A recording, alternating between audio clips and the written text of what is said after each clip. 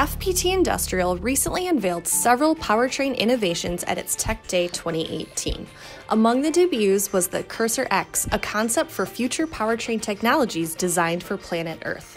The Cursor X is adaptable to customers' individual needs and can be based on natural gas, hydrogen fuel cell, or battery stored energy.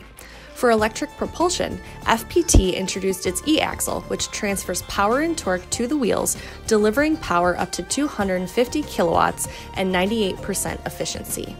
FPT also debuted its hydrogen fuel cell powertrain, featuring smart management and controls to provide zero emission operation and up to 50% powertrain efficiency.